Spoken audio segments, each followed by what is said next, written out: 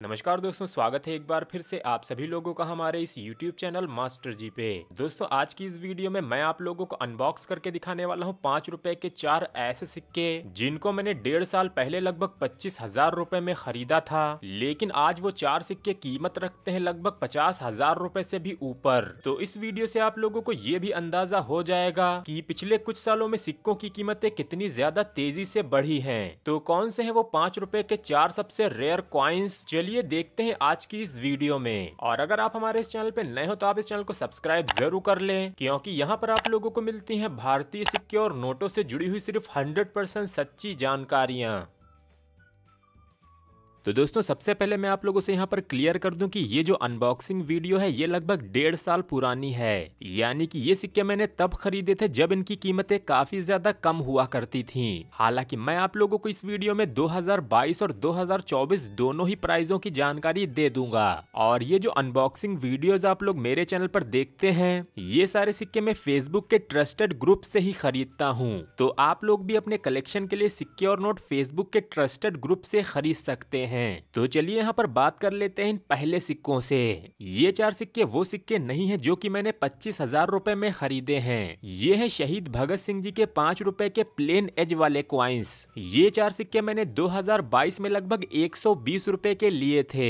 यानी कि ऐसा प्लेन एज वाला एक सिक्का मुझे पड़ा था लगभग तीस रूपए का। और अब आ जाते हैं हमारे मेन चार सिक्कों की तरफ़, जिनके लिए मैंने 2022 में खर्च किए थे लगभग पच्चीस हज़ार रूपए। यानी कि ऐसा एक सिक्का मुझे पड़ा था लगभग छह हज़ार रुपए का।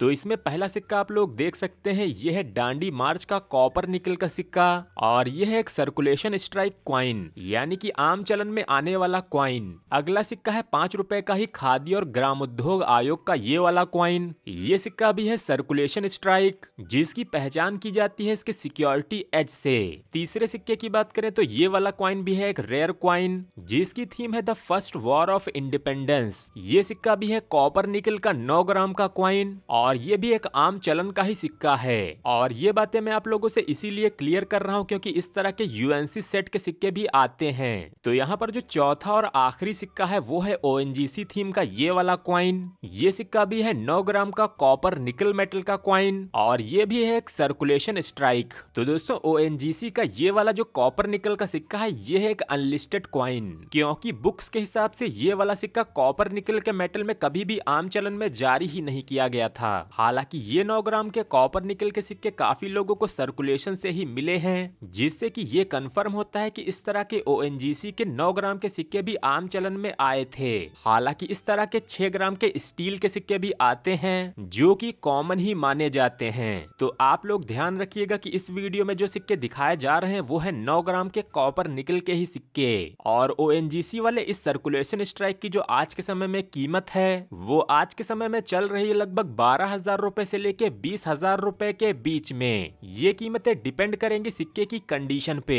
इसके बाद अगर हम बात कर ले खादी और ग्राम उद्योग आयोग वाले इस सिक्के की कीमत की तो इसमें भी आप लोगों को छह ग्राम का स्टील और नौ ग्राम का कॉपर निकल का सिक्का देखने को मिलता है, जिसमें की ये नौ ग्राम का कॉपर निकल वाला सर्कुलेशन स्ट्राइक क्वाइन ही रेयर और एक्सट्रीमली रेयर है। एक्सट्रीमली रेयर इसलिए क्योंकि एक आरटीआई में यह खुलासा किया गया था कि इन सिक्कों की मिंटेज थी सिर्फ़ तीन हज़ार हज़ार यानी कि ऐसे कॉपर निकल के नौ ग्राम के ये सिक्के सिर्फ़ तीन हज़ार की संख्या में ही बने थे, जिसकी वजह से आज यानी कि 2024 में इस सिक्के की जो कीमत है, वो शुरू हुई होती है लगभग 12 से पंद्रह हज़ार रूपए से। वही यूएनसी कंडीशन के ऐसे एक सिक्के के लिए आप लोगों को लगभग पच्चीस हज़ार रूपए भी खर्च करने पड़ सकते हैं। तीसरा जो यहाँ पर सिक्का है, वो है the first war of independence का ये वाला सिक्का। ये सिक्का भी आप लोगों को छह ग्राम के स्टील और नौ ग्राम के कॉपर निकल वाले दोनों दोनों ही तरह के सिक्कों में देखने को मिलते हैं। और यहाँ पर भी जो रेयर वाले सिक्के हैं, वो है नौ ग्राम के कॉपर निकल के ये वाले क्वाइन ही। और उसमें भी वो सिक्के जो कि आम चलन से मिलते हैं, यानी कि सर्कुलेशन स्ट्राइक वाले क्वाइंस ये सिक्का भी 2022 में लगभग 5000 से 8000 रुपए में बिकता था, और तब के हिसाब से मैंने भी इस सिक्के के लिए लगभग 6000 ही दिए थे।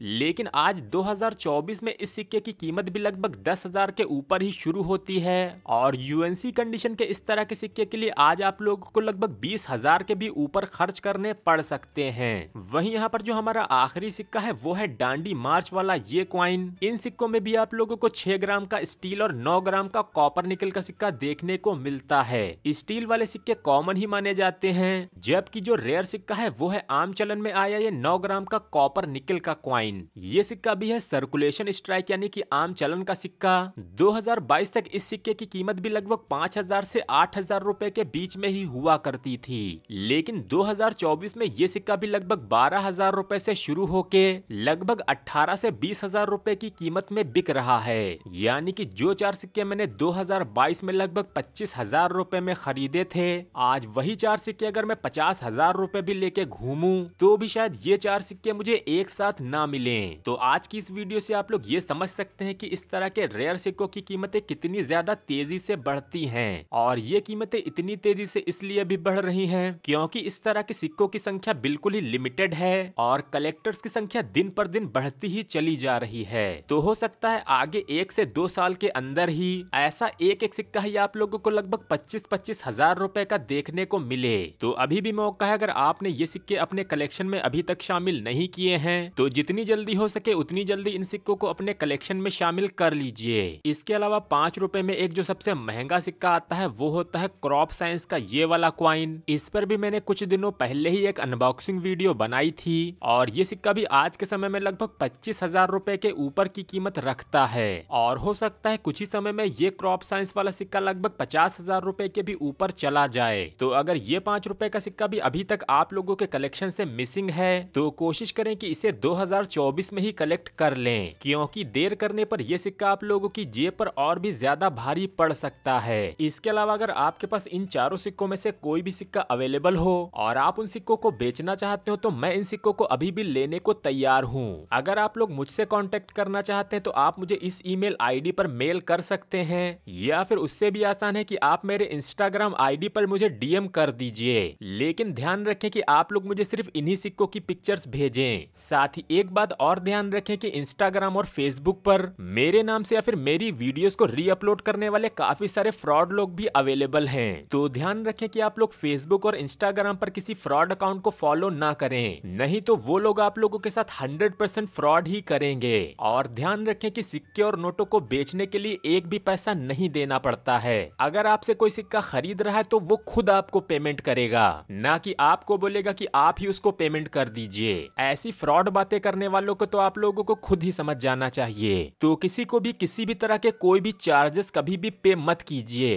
तो इन चारों सिक्कों में से अगर आपके पास कोई भी सिक्का अवेलेबल है तो आप उसके बारे में मुझे नीचे कमेंट करके भी ज़रूर बताएँ। तो आई होप आप लोगों को आज की ये वीडियो काफ़ी ज़्यादा पसंद आई होगी। पसंद आई हो तो आप इस वीडियो को लाइक और शेयर ज़रूर करें। साथ ही आप लोग मुझे कमेंट करके ये भी ज़रूर बताएँ कि क्या आप लोगों के पास इनमें से कोई भी सिक्के अवेलेबल हैं या फिर नहीं। और अगर आप लोग ऐसी इंटरेस्टिंग वीडियोस आगे भी देखना चाहते हैं तो आप इस चैनल को सब्सक्राइब ज़रूर कर लीजिएगा। क्योंकि मैं यहाँ पर आप लोगों को देता हूँ भारतीय सिक्के और नोटों से जुड़ी हुई सिर्फ़ हंड्रेड सच्ची जानकारियाँ।